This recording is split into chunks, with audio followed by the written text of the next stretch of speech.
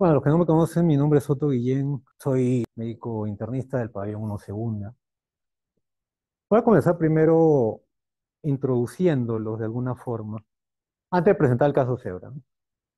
Es un caso, un varón joven, 38 años, médico, antecedente de asma intermitente, un tiempo de enfermedad, dos días, fiebre, escalofríos, malestar general, tos, que debutó así, ¿no? Con coloración amarillenta.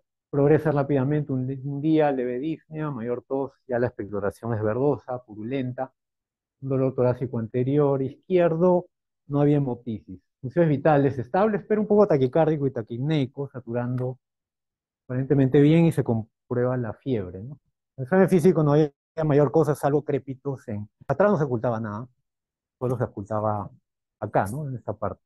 Entonces, ya todos imaginan con síntomas, signos, cuál sería el diagnóstico más probable. Pero esta no va a ser la pregunta. Se los voy a poner como examen de opción múltiple ya con un enunciado más dirigido, ¿no? Un varón de 38 años, asma controlada, con emergencia por vía de fiebre, tos, expectación amarillo verdosa, disnea, dolor torácico, no hemoptisis, el examen físico, crépitos, no hay sibilantes ni roncantes, y ahora la pregunta es, ¿qué conducta ustedes tomarían? Pueden responder, no sé, aunque eso nunca hay en los exámenes, pero yo pienso que sí debería ser una opción, porque en la vida real no es que nos dan a escoger, ¿no? La, las alternativas y de ahí sacar la correcta. ¿no? Puedes responder también lo que se hace últimamente, ¿no? Interconsultar a, a todo el mundo para que me digan qué tengo que hacer, ¿no? Pero no, les sugiero que no hagan eso. Ya marcaron, no hay problema. ¿Qué otra cosa hacen, no? Solicitar TEM-TAP, de tórax, y bueno, yo le pongo ahí, ¿no? Abdomen y pelvis por si acaso, ¿no? A ver qué sale. Porque obviamente la localización del problema está en el pulmón, ¿no? De este paciente. Iniciar tratamiento con ceftraxona y acidromicina. Solicitar primero una placa de tórax. Tomar BK, cultivo para BK. O iniciar amoxiclavulánico más doxiciclina. A ver, nadie ha marcado no sé. Ya. La mayor respuesta es solicitar una radiografía de tórax. De ahí tomar BK y cultivo para BK. Y 25% dice iniciar tratamiento con amoxiclavulánico y doxi. Y el resto es interconsulta neumos y fiel, ok, sinceros. Y la otra verde es freacitro, ¿no? Ok. Hay una profesión que se llama medicina humana, yo la aprendí a fines del, del siglo XX con, y sobre todo comienzo del siglo XXI, en el cual había, digamos que este sistema o proceso, por llamarlo así, ¿no? Es síntomas, lo cual se traducía en un relato de signos y síntomas, los signos, ya que corresponde al examen físico, síndromes, o de acuerdo a eso, ¿no? Síntomas de signos, planteo síndromes, que son los problemas que tiene el paciente y de acuerdo a eso planteo diagnósticos, que en algunos casos, perdón, pueden ser definitivos, ¿no? No necesito un examen auxiliar necesariamente para diagnosticar una amigdalitis estreptocócica, ¿no? Ya, se puede tomar un gran cultivo de la secreción, pero habitualmente no se hace, ¿no? sea tratamiento, la mayoría responde a penicilina y el diagnóstico ya está hecho. ¿no? Y eso es lo que se llama tratamiento, ¿no? o tratamiento empírico. Pero esto está deformado, algunos dicen por la pandemia, y no, eso de antes de la pandemia. Los cuales ya se ha dado más, no ni siquiera más, ¿no? Este, ya prácticamente varias enfermedades solo se piensan en diagnosticar con exámenes auxiliares, nada más. Y en realidad los exámenes auxiliares son de ayuda diagnóstica cuando dos cosas, ¿no? A grandes rasgos tu probabilidad pretest no es tan alta, o sea, tienes varios diferenciales de los cuales no puedes escoger uno, ¿no? Y lo otro, si es que escogiste un tratamiento empírico, el paciente no mejora. ¿no? Entonces, ¿qué hicimos con, con este paciente? Este es un resumen, digamos, ¿no? Fiebre, tos, expectoración purulenta, estable, no hipofemia y decrépito. Nos jugamos con una neumonía bacteriana, un tratamiento con amoxiclavulánico y doxi, y la fiebre, el malestar limitero en dos días, la expectoración se aclaró en tres a cuatro días, sin ningún examen auxiliar, ¿no? Hasta ese momento. ¿Cuál fue el diagnóstico? Porque si bien les pregunté qué conducta tomaban, la mayoría escogió dar antibióticos orales o antibiótico endovenoso. ¿no? Por ahí una radiografía, a los que tenían dudas si era posiblemente tuberculosis, que hay otros que marcaron BK, ¿no? Un paciente médico, ¿no? podía tener tuberculosis. Pero si mejoró es poco probable, ¿no? Que sea tuberculosis. Igual, ¿no? Por, obviamente por la profesión se pidió BK y cultivo y ese reparativo salió negativo, ¿no? Pero la respuesta terapéutica, obviamente estos resultados no salieron al, al día siguiente, ¿no? Se demora. Y este, salieron negativos, ¿no? Pero obviamente la respuesta al tratamiento también, digamos que confirmaba el diagnóstico.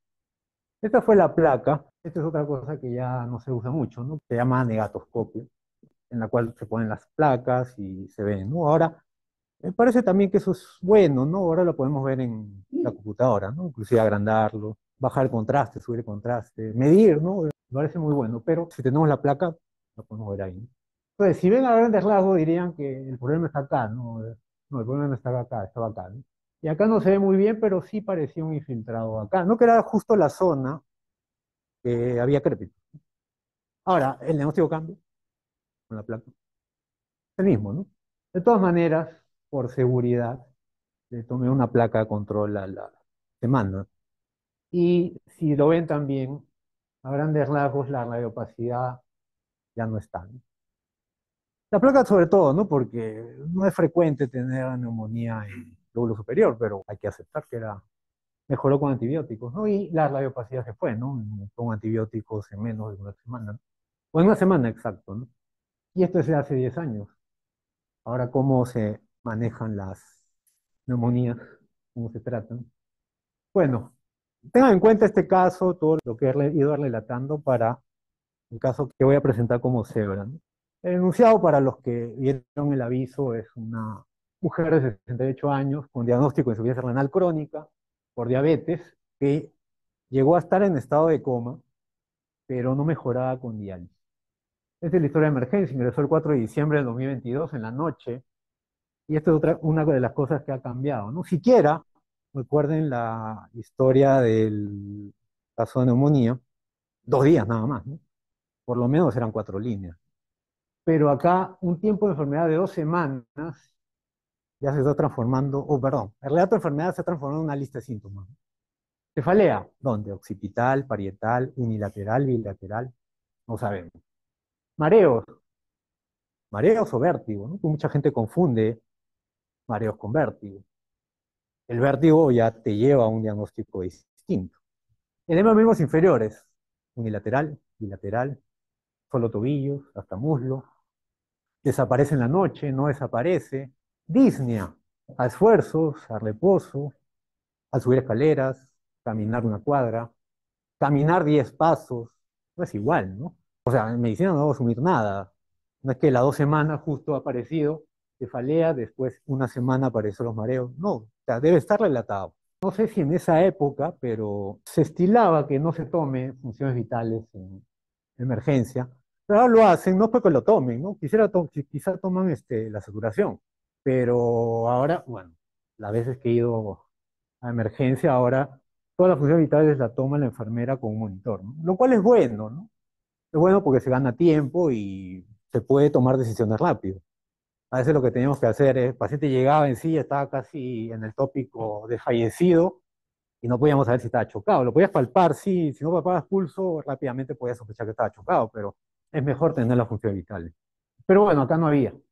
Examen físico, Ahora, ¿cómo? El examen físico también debe estar dirigido, ¿no? De acuerdo al problema que yo encuentro en, los síntomas.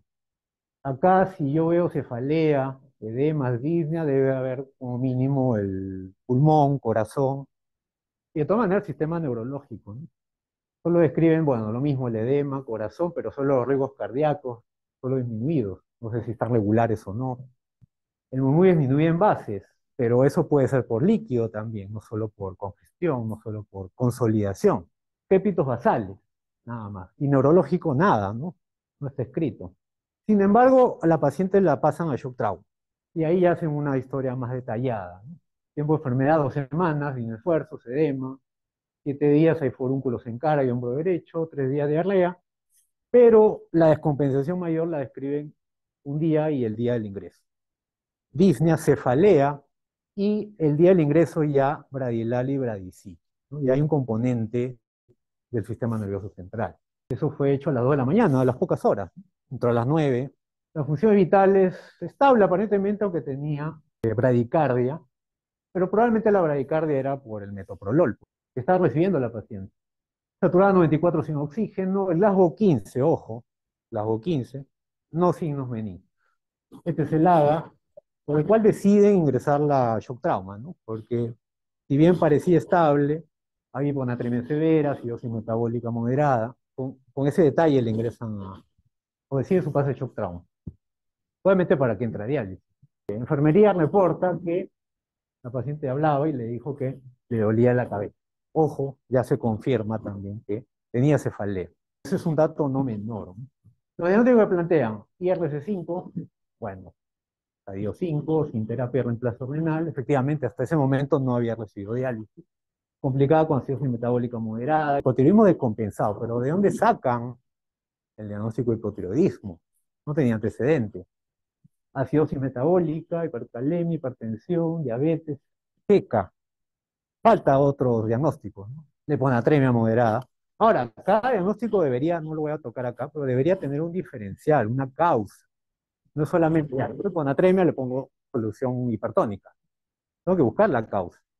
Porque si no, después, ya, termina la solución hipertónica, sube el sodio, pero ya lo suspendo y después, si no ubico la causa, el sodio va a volver a bajar. Y lo otro es que ya la paciente está encefalopática. Ahora, pueden asumir, pero nuevamente en medicina no debe asumirse nada, que la encefalopatía está dentro del primer diagnóstico de insuficiencia renal crónica 5.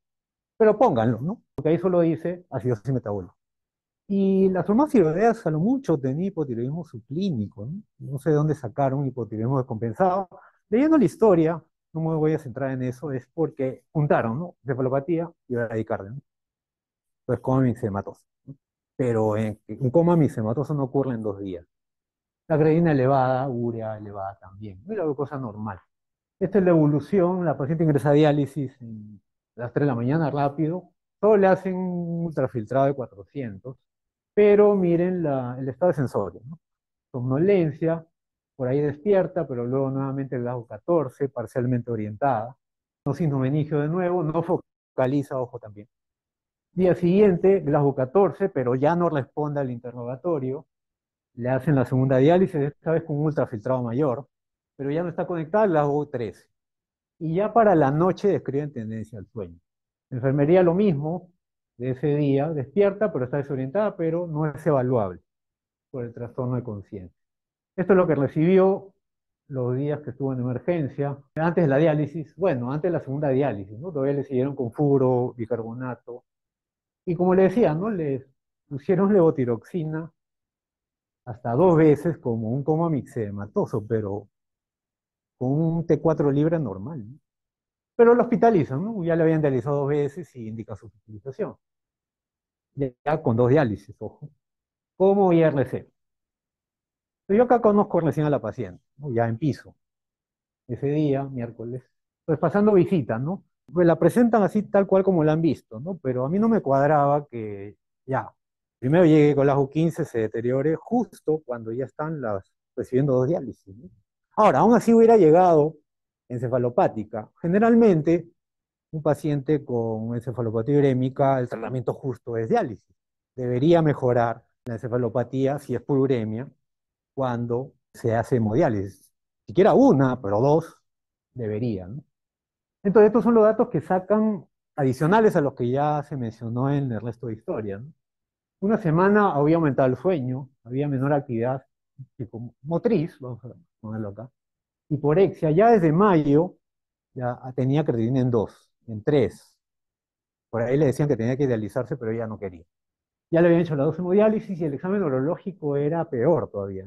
Estaba soporosa, no decía órdenes, solo emitía sonidos guturales y un grado 7. El síndrome urémico no solamente incluye cefalopatía urémica. Por suerte de los pacientes con diabetes y falla renal, ya no vemos, digamos, realmente pacientes urémicos en los hospitales. ¿Por qué? Porque ya hay un mayor acceso a hemodiálisis temprana. Bueno, no digo temprana cuando debería hacerse, ¿no? Me refiero a temprana respecto a lo que nosotros, bueno, al menos yo aprendí eh, sobre insuficiencia renal. O sea, cuando yo hice la residencia, mejor dicho. La diálisis no la cubría el SIS. Y cuando empezó a cubrir, solo te cubría el procedimiento, no los materiales. ¿Cuánto costaba una diálisis? Mil, una, una, o sea, un día. 1.500 soles, una nada. Muy, muy pocos pacientes podían hacer diálisis. Entonces, veíamos la evolución natural de la uremia.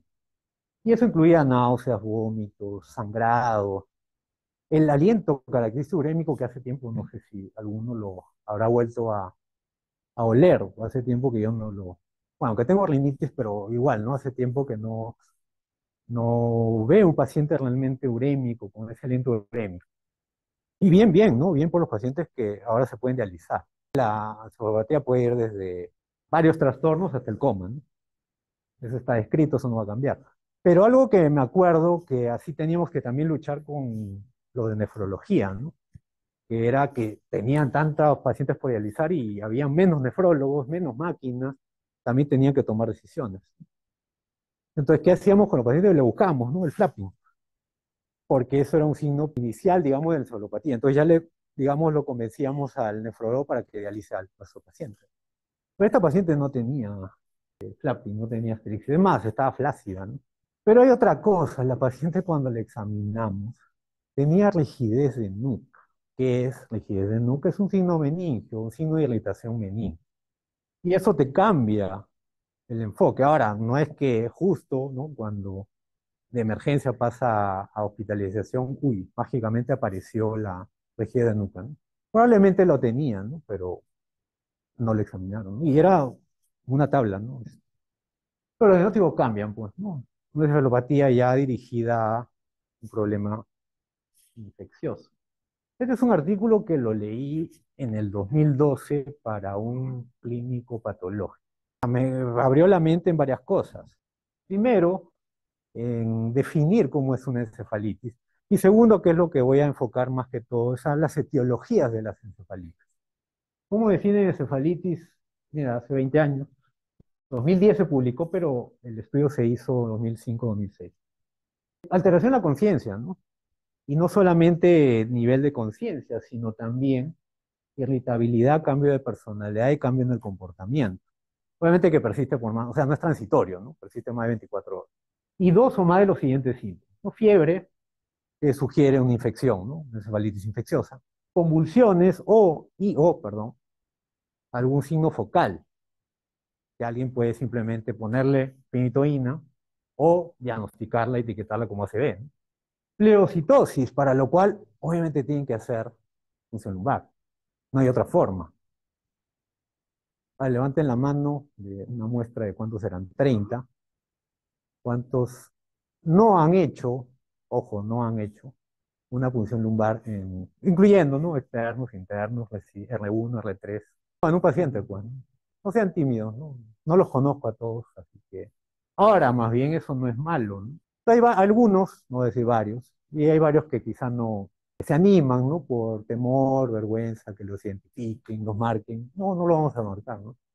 Eh, sino es para tener una idea. Bueno, hay, épocas, en que algunos externos internos, hablo solo del piso, ¿no? No puedo hablar del resto. A veces les ha tocado una o dos funciones lumbares, una o dos paracentesis o toracocentesis, y hay otros que no, ¿no? En una rotación de cuatro semanas para externos y dos meses para internos. Es variable, ¿no? Depende de cada paciente. Pero lo que me sorprendía es que llegan R1 que nunca habían hecho función lumbar. Y no les hablo de este año, ojo, los FERN1 de ahorita, no hablo de años anteriores. Nunca habían hecho una trococentesis. Saliendo un poco del tema, nunca habían hecho una paracentesis. Ahora, eso es porque los procedimientos se los hacía el R3 y no se les dejaba hacer. Poco probable, ¿no? Y no es porque no se decide hacer o, o lo que, parte de lo que está cambiando, ¿no? que la haga el subespecialista. Que la pele la haga el neurólogo. ¿A qué vamos a llegar? Ah, está corriendo, ¿no? Que la tóraco la haga el neumólogo. El gastroenterólogo todavía no está haciendo paracentesis, pero porque tiene que hacer endoscopías colonos, ¿no? Pero que van a obligar, van a llegar a ese punto a que el gastroenterólogo tenga que hacer las paracentesis. O sea, interconsulta gastro para paracentesis. Bueno, entonces ya, volviendo al tema, ¿no? La única forma de saber si el paciente tiene pelocitosis es con líquido cefalorraquídeo. Ahora ya, si es que yo intenté una vez, dos veces, pero no solo el externo, interno, R1 y el asistente, y no se pudo, la última pele que tuve que hacer, una señora con una escoliosis así, o sea, literalmente, una S, que fue realmente difícil. ¿no? Y me ha tocado en algunos casos que no he podido. ¿no? Entonces ahí sí, pues, ¿no? No sé si el neurólogo el anestesiólogo también, ¿no? Ahí sí tengo que buscar ayuda. ¿Y qué más, no? Ya, ya para volver al tema del diagnóstico encefalitis. Anormalidades en la neurosimagen no solamente tomografía, sino resonancia. El problema es que nosotros acá en el país no tenemos resonancia, por suerte. Tenemos tomografía, o sea, en el hospital, propio del hospital desde diciembre de 2019, aunque una época que se malogró, ¿no? Pero ya está funcionando de nuevo. En la cual, ojo, ¿no? No es que ya yo pido la imagen y espero sentado a que el informe llegue, ¿no? Tengo que ver la imagen, buscar los signos que yo estoy pensando. O sea, una CB, ¿Dónde está? Tiene hemiplegia, ya, ya se va al entonces yo tengo que ir a buscarlo, no esperar el informe. Y el electroencefalograma, bueno, puede ayudar, pero no es muy específico, tampoco sensible, pero se puede hacer bien, ¿no? Pero, ojo, es 12 de 5, ¿no? No tiene que ser los 5. ¿Y qué encontraron en este estudio? Las causas. A la cabeza sí, pues, ¿no? Infecciosas, más del 40%, pero no es neumococo, no es meningococo, es virus, es herpes. Ahora, ¿cómo detecto esto? No es con un test de ADA, ¿no? No es con un gran cultivo. Esto es con PCR. Entonces detectas el herpes y ojo, miren, en Inglaterra había tuberculosis. Quizá acá sea mayor un poco, no lo sabemos. No sé si lo vamos a saber alguna vez. Varicela, estreptococo, enterovirus. Y hay cosas infecciosas, de hecho. Este fue el líquido, ¿no? Una presión de apertura alta, cristal de roca, transparente, había cinco células, ojo, eso no es normal. Proteínas elevadas y un test de ADN en 18, que está elevado, ¿no? Pero lo que me sorprendió es el líquido, ya, los resultados los vi después, ¿no? Se recogió al día siguiente. Bien se hizo en la tarde, pero se recogieron los resultados al día siguiente. Me llamó la atención la glucosa. Estaba normal, ¿no? Pero igual se enfocó como, mediante la pele se le dio tratamiento como bacterial, ¿no? Aunque ya le habían estado dando ceftraxona no sé si por ITU o por GECA, pero ya le está dando cetrasona cada 24 horas. Y se le agregó, perdón, tratamiento anti Y lo recibió efectivamente 2, 4, 6, 7 días. Le siguieron haciendo diálisis, dos diálisis más, ya ultrafiltrado 1000, 2000. Pero la paciente seguía igual, ya con cuatro diálisis, ceftraxona y antitebe. ¿Qué hacemos? Este de enfermería, ¿no? Dice, no evaluable, no responde al interrogatorio. Me reevaluó seis días después y viendo, pues, ¿no? Una semana que no había respuesta al tratamiento, planteamos dos hipótesis. Una, la del herpes, que no se hizo PCR en la primera PL, y la otra, cefalitis autoinmune. Aunque también podía ser una TBM de Erland, ¿no? quién sabe. Pero eso que no lo podíamos saber solo con un test de ADA, ¿no? Ya, esta es la otra pregunta. Ojo la pregunta. ¿Ha conocido algún paciente con diagnóstico de encefalitis autoinmune? Con sinceridad, por responder, no sabía que existía esa enfermedad. Ningún caso. Uno. Y más de un caso. No sabía que existía esa enfermedad, 7%. Un solo caso, 28%. Más de un caso, 14%. Y ningún caso, la mitad. A ver, si bien yo conocí o escuché o leí sobre esa enfermedad en el, con ese artículo, ¿no? En el 2010, en el 2012. No se me ocurrió plantearle a ningún paciente, pues, con sinceridad en adelante. Hasta que me tocó esta paciente, que fue en el 2021, que la presenté el año pasado. Y yo tenía mucha experiencia, casi nula, en interpretar imágenes de resonancia y a partir aprendí un A partir de ahí perdí, he aprendido bastante. Si quieren ver la charla completa, está en ese link de... Bueno, no es la charla completa, sino la discusión. El problema es que no se escucha bien, pero pueden aprender algo de ese caso también. Y si ven ahí las imágenes, eso no es de la paciente, sino era de la bibliografía que, que revisé para que yo planteara ese diagnóstico en, en la paciente que presenté. Ahora, ¿cómo se presentan las hepatitis autoinmunes? Toda esta información no está en esa charla previa. Miren los síntomas, son inespecíficos. Un pródromo que puede pasar como lo que llaman ahora resfriado común, también puede pasar como un COVID ahora que tenemos vacuna. Dolor de cabeza, fiebre, pero después de eso aparece un cuadro agudo o subagudo. Ahora, el tiempo va a depender de que el médico piense en ese diagnóstico. Si es que yo a los primeros días pienso que puede, obviamente descarto infecciones, ¿no? y han pasado cinco días y pienso que ese cefalitis inmune es un inicio agudo, entre comillas. Pero si yo pienso en infección, le doy mero banco, no mejora, ya ha pasado 10 días. De ahí no le hice ninguna punción, recién le hago la punción lumbar, pasa cinco días más y así dos, tres semanas, ya va a ser su agudo. ¿no? Y los síntomas son de muchas enfermedades neurológicas e incluso psiquiátricas. Psicosis, cambio de conducta, alucinaciones, trastorno de la memoria, convulsiones también. Hay un grupo de encefalitis autoinmune que predominan las convulsiones. Y eso puede progresar hasta disminución de nivel de conciencia o inclusive hipoventilación que requiere ventilación mecánica o estado de coma. ¿Qué criterios diagnósticos? Son tres, tienen que cumplir tres. Primero, la clínica, pues, o sea, los síntomas, mejor dicho, que es el estado mental alterado, que es alteración en la memoria, o es síntomas psiquiátricos, aunque acá fácilmente ustedes pueden decir simplemente psicosis, esquizofrenia, dalaropelidol, risperidona y se acabó. ¿no? O síntomas psiquiátricos, ¿no? Y te consulta al, psiquiatra, y el psiquiatra que le va a decir risperidona, no sepam. Tetralina por ahí también, un combo. El segundo criterio es algunos hallazgos. Uno, hallazgos focales al examen físico del sistema nervioso central. Dos, convulsiones que no sean por epilepsia. Una epilepsia primaria no debuta a los 50, 60 años, de una edad joven. Lo mismo pleocitosis, pero para eso necesito líquido, función lumbar, y hallazgos en la resonancia ya acá, que es en T2 o en FLAIR, y que son varias zonas que deben estar afectadas en varias localizaciones lóbulo frontal, principalmente lóbulo temporal.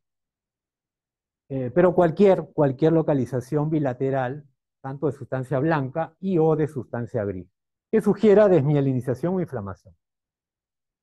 Ojo, una hipodensidad en tomografía o resonancia no es igual a isquemia, no es, un, no es Lo único que sé es que tiene hipodensidad, nada más, o hipointensidad. Pero, pero, pero, no tenemos resonancia, ¿no? Pero tenemos tomografía. Ojo, esto no es un print de la computadora del Weiser, ¿no? Pero es más o menos similar, ¿no? Este de ahí, una página, la pueden googlear, está acá, ¿no? Y que te, da muchos cortes, cortes de tomografía, no solamente cerebral, abdomen, tórax, pelvis, la cual ustedes pueden reconocer la anatomía normal. ¿no? Y en base a eso, si ustedes aprenden lo normal, pueden ir a buscar lo anormal. ¿Y cómo se ve el cerebro normal? Esto es un corte a nivel de ángulo basal citálamo, corte axial. Esto lo encontré la semana pasada, es una página web interesante, gratuita, de imágenes de, neuroanatomía en tejido de necropsias, pues, o autopsias. Y te lo señalan, muy bonito, está en inglés, pero es muy, o sea, se ve bastante bien. Entonces ahí ustedes pueden hacer un match. Yo aprendí, bueno, me aficioné un poco de la radiología, aprendiendo ecografía primero, antes de la residencia. Al inicio veía como ven cuando el cable se sale, ¿no? ven todo lluvia, ¿no? Como en la televisión, ¿no? no reconocen nada. Pero poco a poco te vas imaginando y buscando y reconociendo la anatomía normal. Y así es como yo iba aprendiendo a hacer ecografía, buscando la anatomía normal. Y si no sabía algo, no reconocía, ya iba a internet. Pero ya en la residencia he tenido que aprender a leer rayos X, tomografía cerebral. Y a partir de la pandemia, tomografías torácicas. Y a partir de este caso, o del caso del año pasado, o del de 2021, resonancias cerebrales también. Entonces, lo, lo que hago es eso, ¿no? Ver anatomía normal, y ver la imagen y reconocerla. Entonces, acá pueden ver los ángulos basales y el tálamo. Y acá se ven. No, hay mayor ciencia. Bueno, acá está marcado según la imagen. Esto es de la web que les dije, ¿no? Y este es un corte puntual a ese mismo nivel. Va a poder reconocer a grandes rasgos los ángulos basales y los tálamos. Deben ser uniformes, simétricos. Y esta es la tomografía de la paciente. Incluso desde el día que ingresó a piso. Ya pueden decir está normal. ¿Por qué? Porque no hay isquemia y no hay hemorragia. No, eso no es estar normal. Eso simplemente significa no hay infarto y no hay hemorragia. Pero es normal realmente. No sé si se puede ver bien, pero cuando uno le baja el contraste se pueden ver mejor o diferenciar mejor las imágenes, a la redundancia, hiperdensas e hipodensas. Se ve un mejor contraste. Pero a grandes rasgos, acá no se ve muy bien, pero lo van a ver en los siguientes cortes. Este, estos ángulos basales están, este está más grande que este. Inclusive protruye un poco hacia el ventrículo. También hay anormalidad en los tálamos, pero eso lo vamos a ver más adelante. Esa es otra cosa. La mayoría ve en la, computadora de los pabellones solo corte axial. Nada más. Y se quedan ahí. Pero pueden, hay una forma de ver, o inclusive hasta los cortes te lo dan abajo. Antes no lo dan, pero ahora he visto, he visto que sí dan todos los cortes. Coronal y sagital. También pueden ver ahí las lesiones. Este es un corte coronal, también de la misma zona. Pueden reconocer igual, ¿no? basales, ya de otra disposición, y los tálamos. Y los ventrículos, bueno, ahí no están llenos de líquido, pero en la tomografía sí lo van a ver llenos de líquido.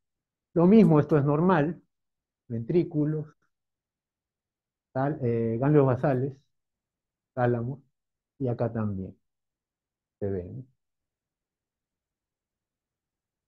Parecería simétrico, pero si van hacia arriba, ven diferencias en la sustancia blanca entre la densidad. Esto no es normal, debe ser uniforme. Y este es el corte sagital a nivel del tálamo.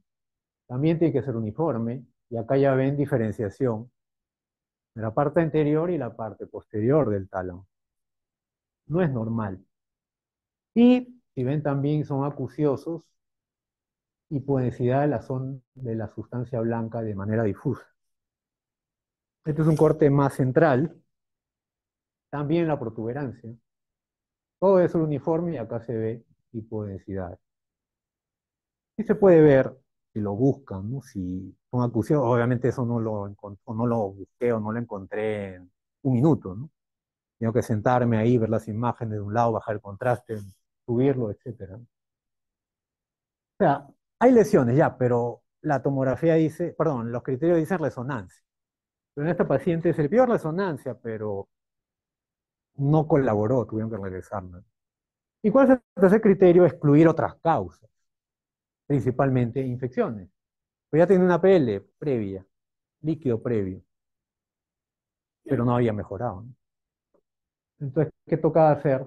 Otra punción lumbar. ¿no? Coincidentemente, este es el video que tiene más vista del canal. Es un procedimiento, pero yo pienso que es más por el hate que le han dado. ¿no? Este, y coincidentemente también esta es la paciente que estoy presentando. La función lumbar de, la segunda función lumbar que yo la hice. ¿no? La primera la hicieron los, el equipo, y, pero esta yo la hice porque era difícil, era una paciente obesa, plácida, y la pude hacer al cuarto intento, pero pude sacar líquido. ¿Y qué obtuvimos? La presión de apertura bajó a 18, ya no había células, la glucosa seguía normal, incluso ya subió, las proteínas bajaron, el ADA ya es normal. Le pedimos el PCR para herpes, salió negativo, PCR para T negativo, inclusive del líquido previo ya se había hecho un PCR, también salió negativo. Todo el PCR no es que llegó al día siguiente, pues, demora el PCR. Y con esto podíamos decir ya con dos líquidos que esto no es infección.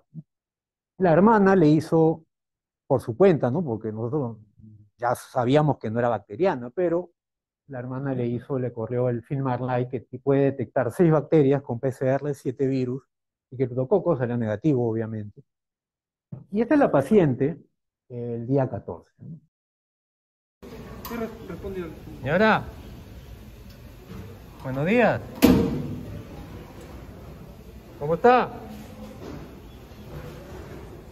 Pues apenas, apenas respondían. Ya había recibido ceftre, dosis de MEC bacteriana, antitebe, DEXA, cuatro hemodiálisis. Le pedimos la... Bueno, en esa época yo conocía solo dos receptores, el NMDA y lo de canales de calcio que al final se han dividido. perdón, canales de potasio. Pero no sale solo uno, no viene con un paquete. Pero eso demora un mes y medio porque lo tienen que enviar a Estados Unidos. Así que está en proceso. Para esta presentación descubrí este artículo en Estados Unidos, en la Clínica Mayo existe una unidad de neurología clínica autoinmune, la cual solamente ven pacientes con encefalitis autoinmune desde el 2006. Juntaron sus datos y lo publicaron el año pasado, más de 500 casos, todos los pacientes tenían estado mental alterado, subagudo, pérdida de memoria, corto plazo. Y miren la edad media, ¿no? 55 años. Ojo, acá se incluyen no solo los NMDA, y el rango de 11 a 97 años. Pero casi la mitad tuvieron anticuerpos negativos, sea en líquido, sea en sangre o sea en los dos. Eso no descarta. Como ven en los criterios de encefalitis inmune, no dice positividad para el receptor. En 18 casos que tenían negativos, que obviamente eran positivos por la resonancia o líquido, llegaron a hacer biopsia cerebral. 2006, 2020, ¿no? ¿Hace cuánto? Bueno, no sé si alguien habrá visto. ¿Hace cuánto no se hace una biopsia cerebral en el hospital Loaiza? Y los cinco tenían inflamación, ¿no? O sea, ya por patología se confirmó, ¿no? La encefalitis. Pero en otros casos, el diagnóstico se hizo por respuesta al tratamiento. De 57, 52 respondieron más del 90%. Y estos son todos los receptores que se dosaron, ojo, para esa época, del 2006 a 2020. Está en orden decreciente o creciente. Acá está el NMDA, ¿no? que creo que la mayoría ha escuchado por ahí como encefalitis autoinmune. Pero hay otros receptores, LGI1, anti-GAT65, hay otro que es por el AMPA, GABA, hay varios.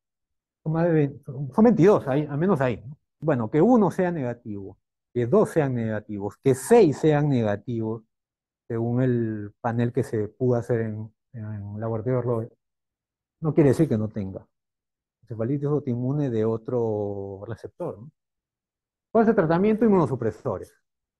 Pero, ojo, ¿no? dice metiprednisolona I, o además de inmunoglobulina endovenosa o plasmaferes pero acá no tenemos disponibilidad de inmunoglobulina endovenosa, menos de plasmaferes, ni siquiera para un paciente que tiene púrpura trombocitopénica trombótica. Menos te la van a dar para un paciente que sospecha, ni siquiera, ¿no? Porque te van a pedir el receptor, ¿no? dame receptor este, anti-NMDA, ¿no? Para que confirmar el diagnóstico. Si no hay mejora, puedes dar un segundo ciclo de ya otros inmunosupresores. Así que le dimos, ¿no? Le dimos metilprednisolona, o le indicamos metilprednisolona. Al día siguiente la ve neurología. Me llama la atención, no sé cómo llegaron, pero... Ah, creo que sí, porque se, tuvo que pedir el pase para la antitebe, pues. Ellos son los que autorizan el antitebe. Entonces la revalúan, pero mira lo que ponen, ¿no? El tiempo, eh, tiempo tres semanas, ya para esa época, pero no escriben nada del cuadro neurológico. ¿no? Si acá porosa, moviliza mínimamente el, mi cuerpo izquierdo. Y la TEN cerebral, miren, ¿no? Lo que yo le he mostrado de la tomografía de la paciente en varios cortes, acá no se describe, más allá de atrofias. ¿Y qué concluyen? Encefalopatía causa metabólica. ¿Cuál? Hiponatremia, sí, llegó con hiponatremia, ¿no? Pero después de ya 15 llegó el 4, ¿no? Después de 11 días, ya no, pues. Infecciosa, eh, para el día 15 ya teníamos, ya teníamos lo del PCR para TB, para herpes, ¿no? No es infecciosa. Pero acá plantean desmineralización osmótica cerebral. Y de frente ponen, ¿no? Suspender metiprednisolona. ¿Qué están haciendo esto? Denúncienlo. A ver, estos son los valores de sodio que se movieron. El sodio mejoró al segundo día, no mejoró por solución hipertónica, mejoró por la diálisis. ¿Qué vamos a hacer? Para no subir el sodio, ni le vamos a poner diálisis. No, sí necesitaba diálisis. Es una discusión, ¿no? Entonces sí, el valor más bajo que tuvo es 119 y por acá 130, subió, ustedes dirán 11 puntos. Iatrogenia. A ver, ¿qué es la desmielinización osmótica cerebral? Es lo que antiguamente se llamaba mielinoisis pontina cerebral. Que miren, no es tan, tan antiguo, ¿no? Se escribió por primera vez en el 59 y con solo 16 casos en necropsia. Fue, paciente, fue, fue un hallazgo incidental. Pacientes que habían fallecido por otra cosa, los patólogos abrieron el tronco y descubrieron eso. Y lo reportaron. ¿no? Las causas de fallecimiento fueron otras, alcoholismo, cirrosis, guarnique, eh, neumonía, úlceras sangrantes, varias esofágicas, cáncer. La causa de fallecimiento no era la mielinolisis, eso fue un hallazgo. ¿Y qué, qué, habían encontrado esto? Pues una lesión justo central a nivel de la protuberancia. Pero con el tiempo a alguien se le ocurrió, vamos a cruzar cosas, ¿no? Paciente con resonancia, con sodio, le suben el sodio y ya, esa es la causa de la mielinolisis. Bueno, entonces estos autores en el 2018 juntaron datos de Estados Unidos también, 17 años, sodios menos de 120, casi 1.500 pacientes, y encontraron 40% que les corrigieron el sodio más de 8 en 24 horas. Edad promedio, el sodio, miren, bajo, 115, pero mira, la mortalidad no era tan alta, 8%, pero si eran desnutridos, si se acuerdan, el estudio de 1960, también había desnutrición. En esa época no se usaba diuréticos quizá, ahora sí más, pero también te produce problema del sodio. NASH, que es causa de cirrosis, también era una causa en el estudio de 1960. Solo le pudieron hacer resonancia a 300, pero de esos 300, solamente 9 tuvieron desmielinización osmótica. De todo ese universo de pacientes con hiponatremia. Entonces, ya existe, pero no es una patología frecuente. Y miren, ¿no? De esos 9, uno ya tenía desmielinización antes que le corrigieran el sodio. O sea, la causa no era el sodio o corregir el sodio rápido, digámoslo así, entre comillas. Efectivamente, sí, la mayoría tenía corrección más de 8, de los 8, ¿no? que tenían desmineralización osmótica, pero nuevamente se repiten, ¿no? Alcohólicos, en mayor proporción en esa población.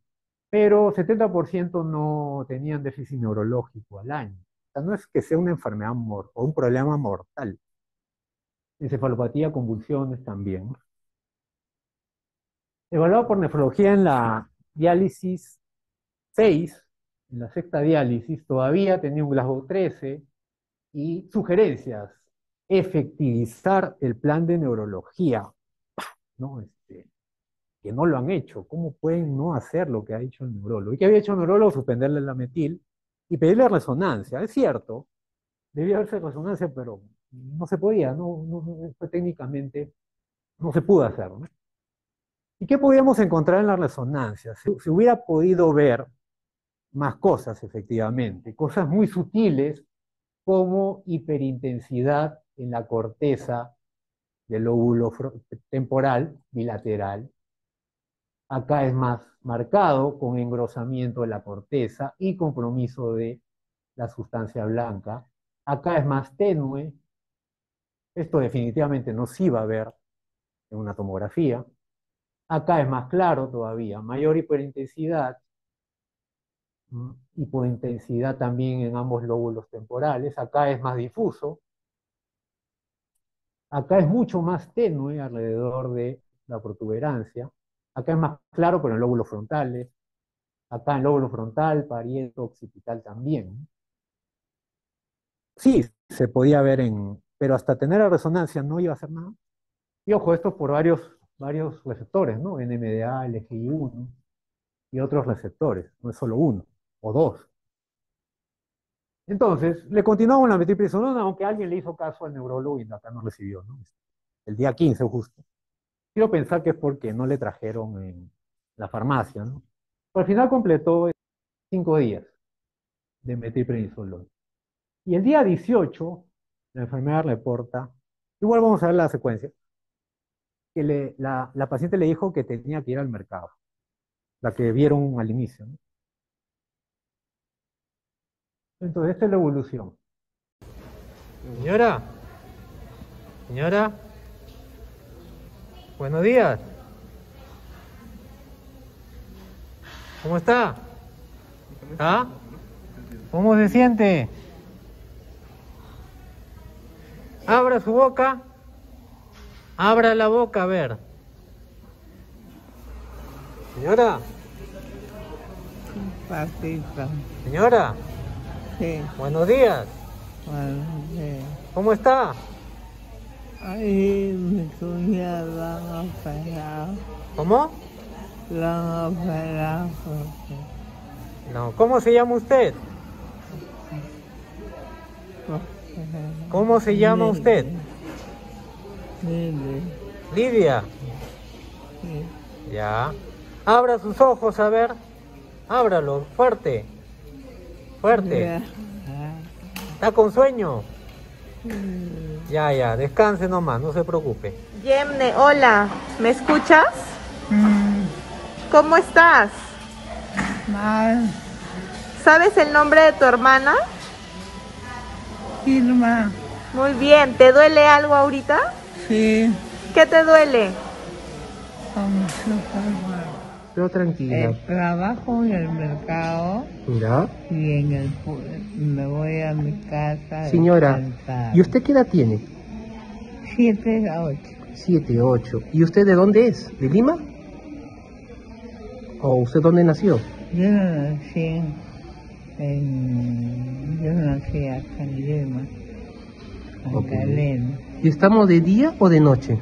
de día. De día, muy bien. Muy bien, día. ¿Sabe este lugar cómo se llama? El lugar donde está ahorita. Leoncio Prado. Leoncio Prado. Ok. ¿Puede mover sus bracitos, por favor? Un poquito no puedo por la tela que lo tiene. ¿Y acá lo puede mover este brazo? Muy bien. Pues en tres días hubo un cambio, ¿no? Que no hubo más de 10 días. ¿no? En Lilac, si ponen prueba terapéutica como búsqueda, el único artículo que le sale es eso, y realmente no es un artículo, sino es una carta al editor, ¿no? Publicado en México, un doctor Leonardo Zamudio, un médico mexicano, bueno, lo he googleado, para esa época tenía más de 80 años, supongo que era un médico reconocido en México, ¿no? ¿Y qué escribió? Miren, apenas dos párrafos o tres párrafos ponen que, o puso, ¿no? Que para los que no sepan qué es una prueba terapéutica, voy a leer textualmente. Ante un diagnóstico de presunción se instala el tratamiento y si este da resultados se arguye que el diagnóstico era correcto. Leo un poco más abajo, creo que debería usarse en lugar de ordenar tantos análisis y técnicas caras, los cuales muchos están fuera del alcance de un gran número de enfermos. México, que será acá. En PubMed, si buscan test terapéutico, 220 artículos desde 1947 hasta 2024. La mayoría antes del 2000. Este es uno de ellos, de 1953. Solo resalto que la prueba terapéutica no es dar mero banco, colistina y todo, ¿no? A ver qué sale. La prueba terapéutica es, yo pienso un diagnóstico y doy el tratamiento, un solo tratamiento. Porque si no, no voy a saber qué es lo que respondió. Salvo que el paciente sí, ¿no? Esté chocado. Yo pienso que tiene un shock séptico y que actuar rápido. ¿no? Ahí no puedo esperar a que haya respuesta al meropenem o al banco, ya, no queda otra. Pero la mayoría de pacientes ya no son así. Entonces, si está una medida terapéutica y veo, falla, la mayoría de veces que el paciente que va mal va a fallar la primera terapia, pues ahí pruebo otra. Eso es un tratamiento, o perdón, una prueba terapéutica. Algunos dirán que no, que justo la quinta diálisis le hizo efecto, ¿no? Pero la quinta diálisis en realidad no fue efectiva porque hizo hipotensión. Recién la sexta sí pudo ser efectiva. Esta es la segunda parte del estudio de Inglaterra, en la cual el 21% de encefalitis eran autoinmunes. Estamos hablando 2005-2006. En esa época no se conocía más que solo el anti-NMDA y lo de los canales de potasio que eran el EGI1 y, algún, y uno más. Pero aún así, Aún así, era la segunda causa. Y un grupo casi de 40% no había causa conocida. Si, si buscan en PubMed encefalitis autoinmune, casi nada, ninguna, ninguna publicación hasta los 2000, ¿no? Básicamente que se descubren estos receptores. Y hay estudios desde el 2006 en adelante, 2007, varios. Dinamarca, acá esto es lo de los canales de potasio. Hungría, Tailandia, 77 casos. Sri Lanka, lo que no conocen es un país también. Brasil, y en Perú también, pero reporte de casos todavía. Del 2019, del Mogrovejo, del Instituto de Ciencias Neurológicas, cuatro casos. Y en Trujillo también dos casos. ¿Cómo evolucionó la paciente? Esto es ya después de terminar los cinco días, dos días después de terminar los cinco días de multiplicidad zoológica. Buenos días, señora. Buenas tardes, ¿cómo está? Estaba triste porque me han robado el DNI, Ya. los cinco bolas. ¿Cuándo? A la hora que entraba acá me metían Ya. Un dinero de 50 y Ajá. de 20. Ya. ¿Cómo se llama usted? Milia se me llama. Ya. ¿Ha comido? Nada en estos dos días. ¿Tiene hambre? Claro, ya se están burlando, ya, ya ahorita me salgo. Ya. ¿Quiere que le den algo de comer? Ya eso no es decir, ya. Ya. Muy mal. ¿Por qué? Es que no es de mi grado estar acá. ¿Cómo se, eh, ¿Cómo se llama usted? Yo me llamo Nidia, pero me siento muy mal. ¿Sabes por qué? Sí. Porque yo desde que he venido no he tomado un desayuno. ¿No le han dado desayuno? No es desayuno, no. ¿Quiere que le den desayuno? Pero mira, No, que. Está por sonda. Quiere güey. comer. Hay que darle de comer, probar. Si le ¿Tiene traemos... hambre? ¿Tiene hambre? claro que sí. ¿Está comiendo? Sí, papito, tengo buen apetito. Muy bien. Yo como cuye. Claro. Ah,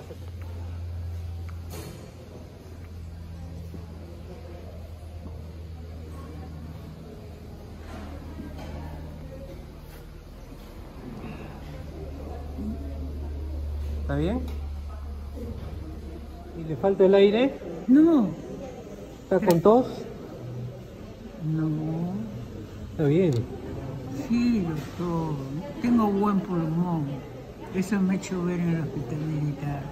Buenos días, señora. ¿Cómo está? Estoy bien, doctor. Tranquila. ¿Se pudo sentar? ¿Se, se levantó? yo estoy sentándome. ¿Sí? Sí, ¿Y se pudo parar o todavía? sí. Ya, Así despacito, despacito. ya. Me agarro a la cama y comienzo así a A ver, la andar. voy a destapar un ratito. A ver.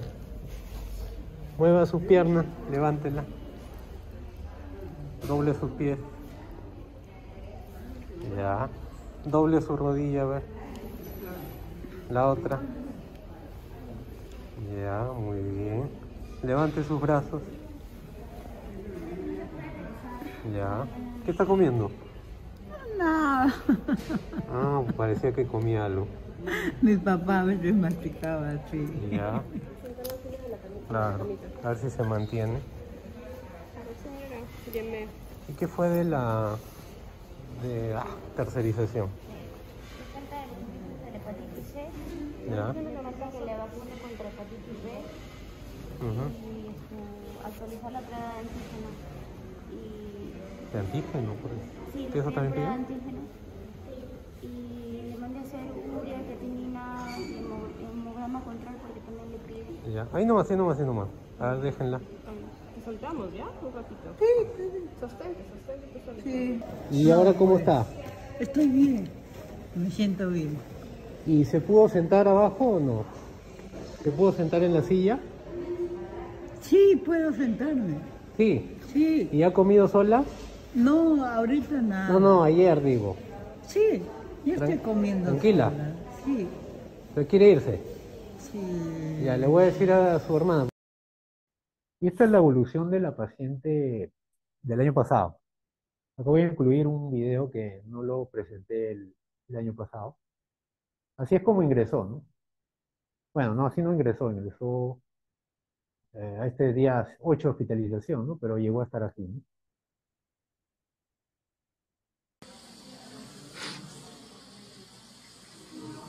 El video completo está en este link si quieren verlo.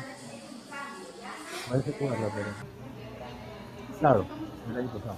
No, no, solo si puede. Señora Daisy, cierre los ojos. Cierre los ojos. Cierre. Cierra los ojitos, hermanita. Cierra los ojitos. Esto es en su casa, ¿no? Buenos días, familia Dávila. Hoy vamos a almorzar todos juntos para celebrar allá arribita el cumple de la abuelita. Tú puedes, tú puedes, tú puedes. Eso. Llegué a la meta. Estando en coma durante tres meses, desahuciada por la ciencia médica, no daba esperanza de vida. Cuando desperté milagrosamente quedé inválida, pero nunca me derrumbé, nunca me deprimí, nunca dije no puedo. Al contrario, con el apoyo, ahí aprendí a valorar a la familia, a mis padres, a mis hijas. Tenía una nieta que estaba por nacer y gracias a todo el entorno familiar, hoy por hoy ya camino, hablo, yo soy maestra de ceremonia y aquí estoy, Señor. Muchísimas gracias a todos. Estaba así, ¿no? Para ir terminando eso. A ver, ¿qué quiero que se lleven de esta charla? Primero, ¿no? Síntomas neurológicos, ya, ustedes van a ver infecciones, neumonías, pielonefritis, que al final no son pielonefritis, sino son otra cosa, pero hay pacientes con síntomas neurológicos. Y no solamente trastorno sensorio, déficit motor, convulsiones también. Pero también hay un grupo importante de pacientes con síntomas neuropsiquiátricos, que de frente lo que hacen es interconsulta psiquiatría y dar antipsicóticos, sin haber descartado otras enfermedades. Delirio no es igual a psicosis, psicosis no es igual a esquizofrenia. El último criterio de SM5 de esquizofrenia es que tienen que haber descartado una enfermedad médica, orgánica, que pueda ser tratable. Lo otro es que hay encefalopatías, y plantearlo así, ¿no? Encefalopatía, es distinto poner trastorno accesorio que poner encefalopatía, que pueden ser por, sea, sodio, hipernatremia, calcio, uremia, etcétera, pero también hay infecciones. Yo digo que lo más frecuente es encefalitis autoinmune, pero hemos visto casos de otros pacientes que al final son meningitis y los pasan como otitis, itu, el caso más extremo que nos tocó es pele, pus, pus, pus, pus, se tapó la, se tapó la, la aguja, tuvo que hacer con una aguja más grande. Pus, ¿no? Ingresada como otitis, otitis externa. También hay encefalopatía hepática, la única forma de diagnosticarla, obviamente, si no tiene el antecedente de cirrosis hepática, es con tratamiento. Y algunos pacientes despiertan y nunca supieron que tenían cirrosis. Y la encefalitis autoinmune, ¿no? ¿Y qué es la encefalitis autoinmune? Por lo menos desde el 2006 es la segunda causa, luego de las encefalitis infecciosas. Síntomas cualquiera, ¿no? Neuropsiquiátricas, alteración de la memoria, y comienza así, ¿no? No es que de un día para otro se entran en coma, ¿no? alteración de la memoria, cambios en conducta, alucinaciones, convulsiones, confusión, cefalea también. En la resonancia busquen, busquen no solamente la sustancia blanca, no solamente, el, perdón, las, la corteza, sino también la sustancia blanca, no solo axial, sino también coronal, sagital. Existen más de 20 anticuerpos, no lo vamos a tener. Esta paciente, su familiar o su hermana er, era médico internista y pudo, pudo costear puedo costear eso, ¿no? Inclusive le hizo más análisis que no le habíamos pedido. Pero la mayoría de pacientes no lo vamos a tener. Así que tiene que ser sospecha y el manejo es inmunosupresores. A la cabeza, metiprednisolona. Esta paciente solo recibió, solamente recibió 5 gramos de metiprednisolona. Analicen ustedes mismos, no, esperen, no manden interconsulta al radiólogo para que les dé el informe más rápido. Más bien si lo presionan, le van a poner cualquier cosa. Lo más probable. como reconociendo neuroanatomía normal, comparándola con imágenes en la web, No solamente tomografía, sino resonancia también. Y lo último, la prueba terapéutica en medicina. Ustedes hacen todos los días prueba terapéutica. ¿Con qué? Con antibióticos. Lo cual no está mal. Es la primera terapéutica que hacemos todos los médicos. Pero también hay pruebas terapéuticas en asma. Pacientes que vienen con sibilantes, roncantes, después de una infección respiratoria, no tienen antecedente de asma. ¿Qué hacen? Lo nebulizan. Y si mejora, ¿qué es? Asma. No hay otra cosa. Anafilaxia, no tienen que esperar a hacer una prueba de alergenos, no, tienen que dar adrenalina, el paciente mejora de anafilaxia. Úlcera, reflujo, también, omeprazol, mejora. Antiguamente hacíamos terapia terapéutica con antitebe, ¿no? Pacientes que venían con BK negativo, pero están haciendo hemoptisis, tienen infiltrado apical, ¿qué es? Pues eh, bajado de peso, fiebre, que a pesar de antibióticos, Perú, ¿no? ¿Qué es? Tebe, pues, ¿no? Un BK, dos BK negativos no te descartan la tebe. Entonces le, dábamos tratamiento anti mejoraban, de verdad, mejoraban. Subían de peso, se le iba la fiebre.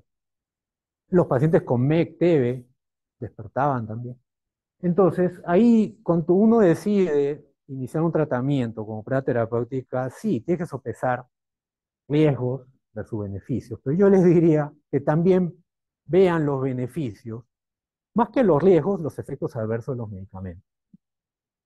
Y para terminar, alguien que no conozca a este doctor puede levantar la mano sin problemas, ¿no? Porque con sinceridad en la visita de ayer me lo dijeron, ¿no? Pero ahora uno, dos, tres, cuatro, cinco, seis, siete, ocho, nueve, diez, once. Once. Este, once estudiantes que no conocen a este doctor. ¿Quién es este doctor? Se llama, se llamaba Jorge Casas Castañeda. Fue el, bueno, médico jefe del pabellón donde trabajo ahora. Él me jaló a trabajar en ese pabellón cuando era jefe del departamento. ¿Y por qué lo pongo? Porque él dio una charla en la cual nos invitó a Daniel Cáceres, que no podía estar porque estaba vacaciones, y a mí para dar una charla en el Congreso de Medicina Interna. ¿Y, y qué hizo? Está, este, también está su video completo ahí. Él inauguró esa sesión eh, sobre cómo hacer los diagnósticos en medicina. Y comenzó con un caso que que él tuvo de interno. No lo voy a espolear, pero lo pueden escuchar ahí claramente, que era un paciente que llegó casi en insuficiencia respiratoria, que no se movía, pensó en el diagnóstico, le dio el tratamiento y el paciente literalmente resucitó. Eso yo solo he visto una vez, de R1, pero yo ya tenía el diagnóstico previo, ¿no? así que no me fue difícil cuando el paciente entró en esa parálisis lo tuvimos que estar bolseando con Ambu hasta que el externo fue a comprar la ampolla. ¿no? Se le puso la ampolla y otra cosa. ¿no? Pero mira, estamos hablando de 1974 cuando el doctor estaba haciendo su internado. ¿no? Una prueba terapéutica. ¿no? Algunos quizá ya sí saben qué enfermedad me refiero, pero lo pueden escuchar en, en su video completo. ¿no? Ok, entonces eso sería todo. No sé si tienen alguna pregunta, opinión. En principio, felicitarte por el caso, es el segundo Yo tenía una duda, siempre es una enfermedad autoinmune por la definición, o sea, autoanticuerpos que quedan. En la revisión que has hecho, ¿existe la probabilidad de que a futuro estos pacientes tengan alguna otra autoinmunidad? No lo describen como otra enfermedad autoinmune, tipo las, que conocemos, ¿no? Lupus, AR, no, y tampoco están descritos como que tienen más predominancia esta enfermedad, como previa, ¿no? Ni como previa ni como a futuro. Lo que sí se describe es una alta tasa de recaída, en algunos sí tienen que someterse, o sea, no someterse, le tienes que dar eh, a veces prednisona por un tiempo mayor o cambiar a otro inmunosupresor tipo azatioprina, ¿no? Porque es por vía oral, pero como un 20% recaen. Pero sobre todo los que recaen son los que... Hay, hay, no he detallado acá mucho, pero hay otro tipo de receptores, superficie celular e intracelular. Los que recaen más y los que tienen menos tasa de éxito son los intracelulares, es lo que describe, pero no asociación a otra enfermedad. Llegó a salir el anticuerpo del NMDA. Sí, inclusive, eh, esto es lo que le mostré si alguien está interesado. El resultado salió inclusive después de la cita, después de la cita, sí, después de la consulta que tuve con ella en, en, este, en enero. Salió mucho después, me lo, me lo pasó por, por teléfono, no me acuerdo. Salió negativo, ¿no? Los seis salieron negativos. Pero como les decía, ¿no? Por eso enfaticé el tema de los receptores. Son más de 20. El hecho de que salgan negativos no, no elimina el diagnóstico. Por eso comencé con el caso de neumonía bacteriana, que mejoró, que salió gran incultivo. En realidad no salió negativo, no, sí, no salió no gérmenes, ¿no? Pero salió cándida, ¿no? Pues eso no era una neumonía por cándida, era contaminación en la boca. Entonces, acá es, son audios, si es que alguien quiere escucharlo en, en, Spotify, el razonamiento, ¿no? Ahí de, de, y en uno de esos está la, lo que hablábamos con la hermana de la paciente. ¿no? En la paciente también del año pasado también salió negativo, pero ella solamente pudo pagar el anti-NMDA. No se pudo hacer. El anti-NMDA y el de los canales de, calcio, de potasio también salió negativo, pero no descarta, no descarta la enfermedad. ¿no? De todas maneras, eh, no todos los pacientes tienen posibilidades de pedirle marcadores. Claro. Ajá. El diagnóstico puede ser tranquilamente clínico, sobre todo aquellos pacientes que tienen, como tú bien dices, trastorno de conciencia, alteración de las funciones mentales superiores o convulsiones, y ya tienen un cuadro agudo, ¿no? Eh, donde el, uno de los pilares básicos es una PL, Claro. ¿no? y uno ya tenga las oficinas diagnósticas, sobre todo cuando descarta otras enfermedades. ¿no? Creo que ese es el grupo de pacientes sobre el cual uno podría intentar una prueba terapéutica y si hay mejoría, como se espera al tercer o cuarto día, está el diagnóstico. ¿no? Y hay que pensarlo. Nosotros hemos tenido casos de encefalitis autoinmune, incluso focal, Claro. que no, no son muy frecuentes, pero que también se dan y que hay que tener presente siempre en el diagnóstico diferencial que hay que seleccionar ese, ese grupo de pacientes. ¿Alguna otra pregunta o comentario de presentes? También en la literatura se eh, contempla ya el término autoinmune anticuerpo negativo. Claro. O cero negativo, ¿no? Claro.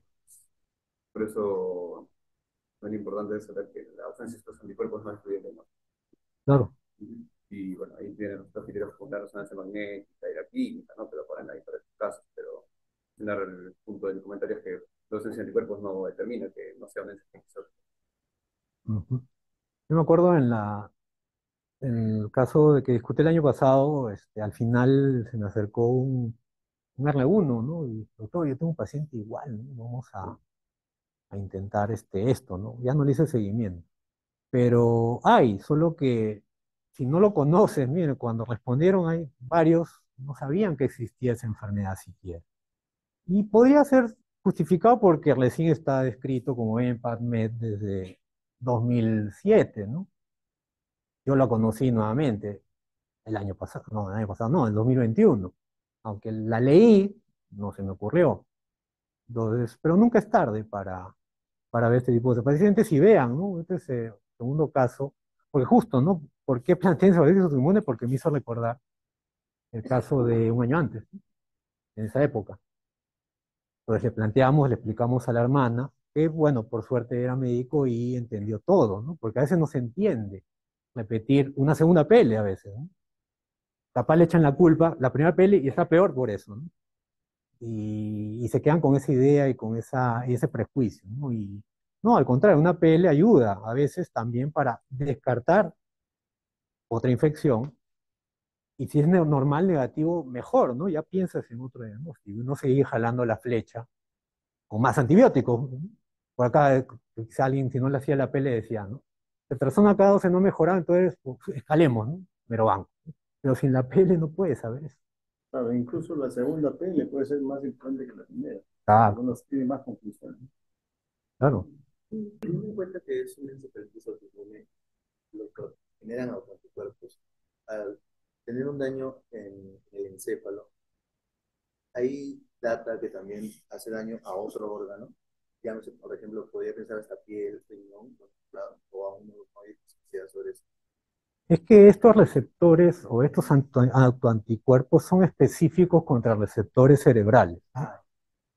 Por eso es que quizá también, no he buscado más, pero en todas las revisiones no hay ninguna asociación con enfermedades reumatológicas o inmunes previas o posteriores, porque son anticuerpos específicos contra estructuras cerebrales. Y quizá algunos, y, alguna otra biografía larga, el, ah, perdón, este, a, veces incluye, y si la vieron en, uno de los artículos, también a la encefalomielitis aguda diseminada. El tratamiento es el mismo, metilprednisolona, pero ahí hay compromiso de, la médula, ¿no? Pero en este caso es puro compromiso del sistema nervioso central, ¿no? Desde glóbulos, desde encéfalo, ganglios basales, protuberancia, nada más.